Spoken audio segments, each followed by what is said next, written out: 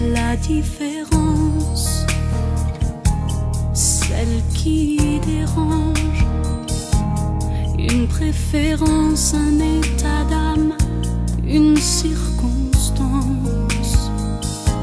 un corps à corps, en désaccord,